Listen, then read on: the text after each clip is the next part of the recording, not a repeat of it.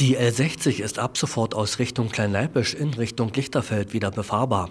Kraftfahrer müssen vorerst dem Verkehrszeichen Kurve rechts folgen, um kurz danach über die asphaltierte Umfahrung Schwarze Keute nach links in Richtung Finsterwalde zu gelangen. Ab dem 8. April erfolgt dann die Vollsperrung des Verbindungsstückes der L60 von Lauchhammer Ost ab zwei Kostebrauer Straße bis kurz vor die Baustellung Schwarze Keute in beiden Fahrtrichtungen.